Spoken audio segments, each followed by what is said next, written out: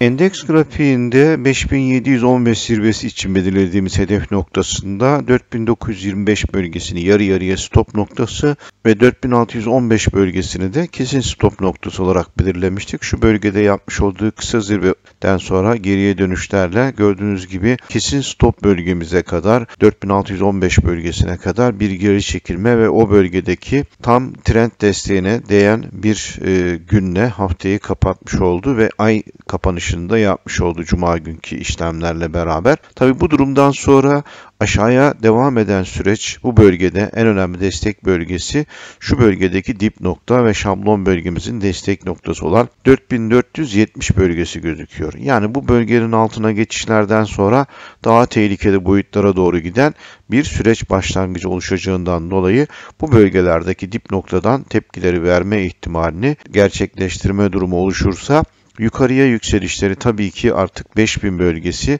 ve yarı yarıya stop bölgemiz olan 4925 bölgesi önemli direnç konumunu almış oldu. O bölgelere kadar oluşturabileceği tepkisel hareketler olarak gerçekleştirebilir ve o bölgenin üzerine geçişler sağlanırsa yukarı yükselişleri başlatma ihtimalini gerçekleştirme durumuna dönüşebilir. Böyle bir durum oluşmadığı sürece tekrar yukarı hareketlerin tepkisi hareketler olup gerçekleşip oradan geri dönüşlerin daha alt bölgelere olma ihtimaline doğru dönüştürebilecek şablon durumunun oluşup oluşmayacağı, önümüzdeki hafta için vereceği tepkisi hareketlerin ne şekilde oluşacağına bağlı. Tabi bu durumun öncelikle şu bölgedeki direnç noktası geçilmesi gereken bir direnç noktası haline dönüşmüş oldu. 4800 bölgesi. 4800 bölgesini geçemediği sürece o bölgelerden dönüşte tekrar bu 4615 bölgesinin altına geçiş ihtimali oluşturacağından dolayı 4615 bölgesinin altına geçişler kesin stop olarak değerlendirilip daha alt bölgeler olan süreçte karşılaşma ihtimaline yakalanmamak için o bölgede kesin stop yapmak gerekiyor. Çünkü bu bölgedeki çift tip ihtimalinden sonra aşağıya devam eden sürecin derinleşerek 4200 bölgesine kadar dahi gerçekleşme ihtimali oluşturacak bir şablon durumuna dönüşebilir.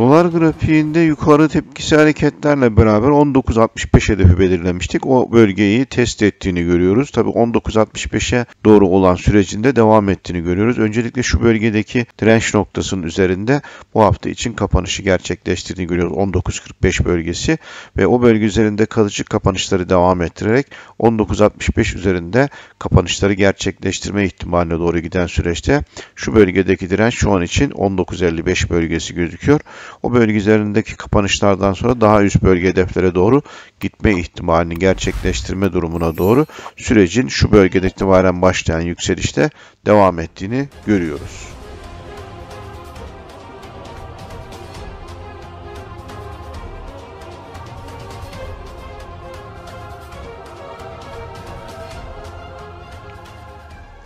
11 grafiğimizde şablon durumumuzda 2050 hedefini gerçekleştirdiği süreçte burada tepkisel bir hareketle o bölgeye yaklaşmıştı. Fakat o bölgenin üzerinde kalıcı kapanışları gerçekleştiremeden geri dönüşte 1970 bölgesindeki yarı yarıya stop noktamızda tutum hareketlerini sürdürdüğünü görüyoruz. Tabi bu bölgede sürdürmeye devam ettiği sürece yukarı yükselişleri gerçekleştirme ihtimali ve 2050 üzerinde kalıcı kapanışlarla beraber daha yukarıdaki 2100 ve 2200 hedeflerine gitme ihtimalini oluşturabilecek şablon durumu için güç kazanma durumunu bu bölgede oluşturmayı sürdürüp daha sonra yukarı tepkisel hareketleri başlatıp 2050 üzerinde kalıcı kapanışlardan sonra 2200 hedefine doğru olan süreci sürdürme ihtimalini 1970 bölgesindeki yarı yarıya stop bölgemizin altına geçişler olmadığı sürece ve özellikle de kesin stop bölgemiz olan 1925 bölgesinin altına geçişler olmadığı sürece devam etme ihtimalinin sürdüğünü olduğunu söyleyebiliriz.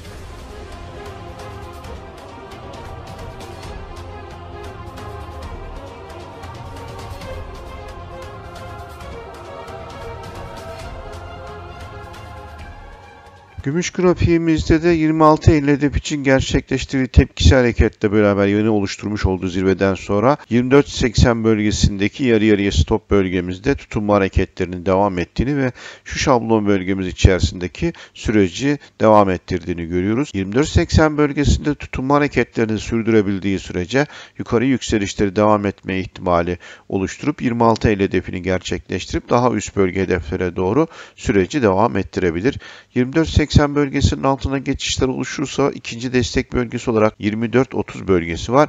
24.30 bölgesinin altına geçişlerden sonra kesin stop bölgesi olarak takip edeceğimiz 23.15 bölgesine kadar güç kazanma hareketleri için geri çekilme durumları oluştursa da 23.15 bölgesinin altına geçişler olmadığı sürece yukarı yükselişleri devam ettirme ihtimalini sürdürebilir.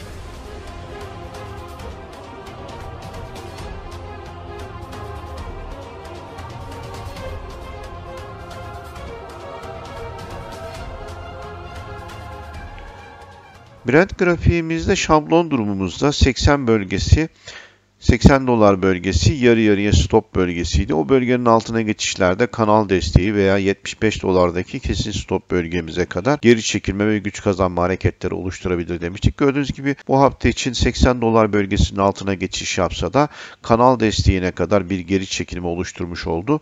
Yani 77 dolar bölgesi. O bölgeden de tekrar bir cuma günkü işlemle beraber tepkisel hareketi başlattığını görüyoruz.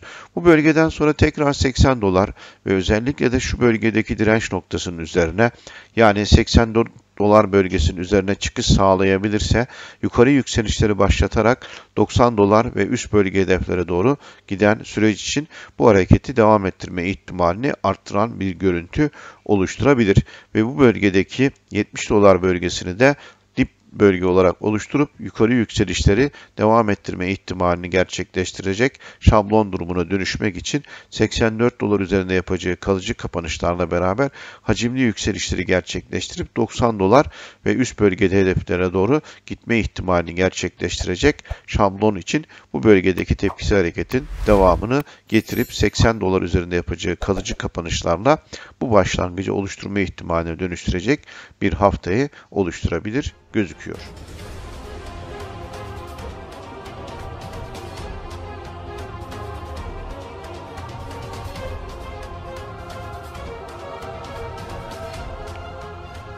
Euro dolar grafiğimizde 1.10 bölgesindeki yatay sürecin devam ettiği ve üzerinde kalıcı kapanışları oluşturduğunu görüyoruz. Tabi bu durumdan sonra yukarıda belirlediğimiz 1.1380 hedefine doğru yükselişleri başlatma ihtimali oluşturabilir.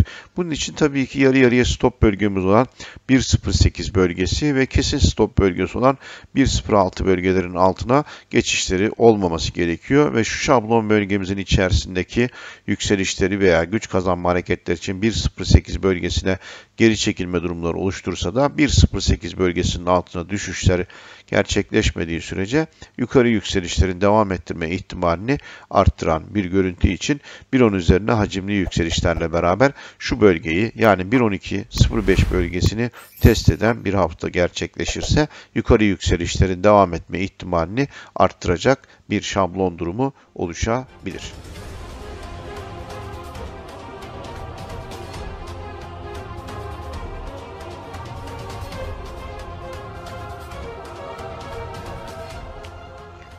Platin grafiğimizde 1060 bölgesindeki yarı yarıya stop bölgemize bir geri çekilme güç kazanma hareketi oluşturmuş 1134 zirvesinden sonra ve 1060 bölgesinin altında düşüşler olmadan burada güç kazanma hareketlerini gerçekleştikten sonra yukarı tekrar tepkisi hareketleri başlatıp 1118 direncinin üzerine geçiş yaparak kalıcı kapanışlar oluşturursa 1150 hedefini gerçekleştirip daha yukarıda kanal bölgesinin üst bölgesine kadar olan yükselişleri de yapma ihtimaline doğru giden bir şablon durumunu oluşturabilir. Bu bölgede güç kazanma hareketleri içinde yatay bir süreç oluşabilir. 1060 bölgesinin altına düşüşler olmadığı sürece de bu bölgede güç kazanma hareketlerini gerçekleştirdikten sonra hacimli bir yükselişte 1150 hedefini gerçekleştirip daha üst bölge hedeflerine doğru süreci devam ettirebilir.